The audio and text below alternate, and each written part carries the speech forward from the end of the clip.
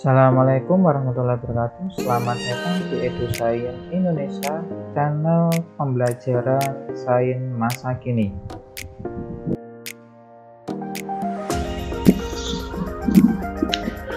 Pada video kali ini akan dibahas mengenai variabel penelitian. Sebelum masuk ke materi, jangan lupa diklik tombol subscribe, like, dan share dan jangan lupa di komen untuk keberlangsungan dari channel ini Variabel penelitian merupakan konsep yang mempunyai bermacam nilai.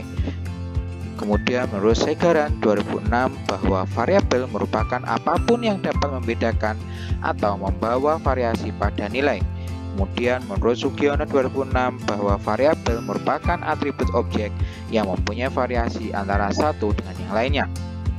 Dalam hal ini, Variabel dapat diartikan sebagai segala sesuatu yang akan menjadi objek pengamatan penelitian dan sering pula variabel penelitian itu dinyatakan sebagai gejala yang akan diteliti. Ya, dalam hal ini, variabel dapat dibagi berdasarkan hubungannya, yaitu variabel bebas, variabel terikat, variabel kontrol, variabel moderator, dan variabel antara. Yang pertama yaitu variabel bebas atau dependent variable merupakan variabel yang mempengaruhi atau menjadi penyebab bagi variabel lain. Dalam ini dalam penelitian bahwa variabel bebasnya adalah merupakan perlakuan dari penelitian tersebut. Kemudian variabel terikat yaitu sejumlah gejala atau faktor atau unsur yang ada atau muncul karena dipengaruhi atau ditentukan oleh adanya variabel bebas. Hal ini variabel terikat merupakan hasil dari adanya variabel bebas. Dalam hal ini dapat dicontohkan bahwa antara variabel bebas dan terikat memiliki hubungan. Yang contohnya yaitu berupa metode kerja yang akan mempengaruhi produktivitas, kemudian metode mengajar yang akan mempengaruhi mikrokonsepsi dan kemudian pengalaman mengajar yang nanti akan mempengaruhi kemampuan menggunakan alat peraga. Selanjutnya yaitu variabel kontrol, merupakan variabel yang dikendalikan untuk meniadakan pengaruhnya pada variabel terikat. Sehingga ada tidaknya atau muncul tidaknya variabel terikat muri ini nanti karena adanya pengaruh pada variabel bebas. Lalu ini adanya usaha pengendalian nanti ya dapat mengatur ya mengatur agar memiliki kesamaan pengaruh terhadap semua sampel penelitian sebagai sumber data. Kemudian adanya variabel kontrol nanti dapat menghilangkan pengaruh variabel kontrol pada sampel tersebut. Hal ini dapat dicontohkan bahwa ada suatu penelitian tentang ekstrak biji pepaya yang akan mempengaruhi dari mortalitas ulat geraya.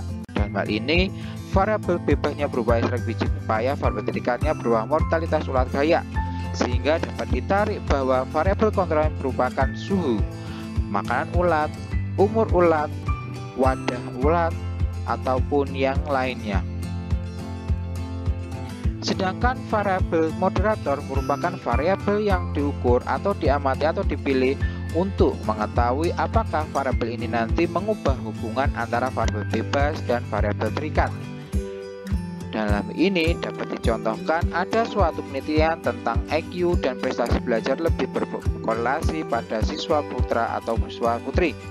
Dalam hal ini dapat dilihat bahwa variabel bebasnya berupa IQ, kemudian variabel terikannya berupa prestasi belajar, dan variabel moderator adalah seks atau jenis kelamin. Dalam hal ini, variabel moderator adalah variabel yang akan mempengaruhi dari variabel bebas dan variabel terikat. Oke.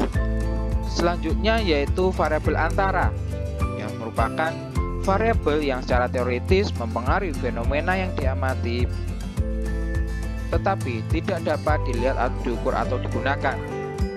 Dalam ini variabel antara nanti akan mempengaruhi ya. Jadi pengaruhnya nanti terus harus diduga dari uh, pengaruh dari variabel bebas terhadap variabel terikat. Hal ini dapat dicontohkan bahwa adanya kegiatan laboratorium nanti yang akan mempengaruhi prestasi, besar, eh, prestasi belajar dalam hal ini variable interveningnya atau variable berupa motivasi jadi motivasi nanti akan mempengaruhi dari prestasi be belajar itu berdasarkan variabel berdasarkan hubungan. Kemudian selanjutnya yaitu berdasarkan sifat nilai. Ya. Jadi variabel nanti dibagi menjadi dua yaitu variabel kategori dan variabel kontinu. Variabel kategori merupakan variabel yang dibagi menjadi golongan-golongan atau kategori-kategori dengan ciri-ciri tertentu untuk setiap golongan atau kategori. Dalam hal ini, penggunaan variabel kategori nanti adalah dia hanya mengkategorikan, semua mengkategorikan umur, kemudian jenis kelamin, kemudian asal daerah, dan lain-lain.